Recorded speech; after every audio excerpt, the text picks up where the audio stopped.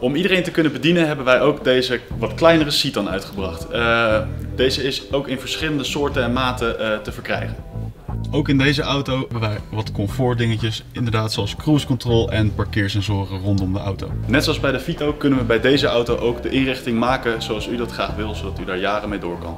Bij deze auto geldt onze actie ook. Komt uw auto bij ons inruilen, krijgt u van ons deze prachtige elektrische fiets cadeau.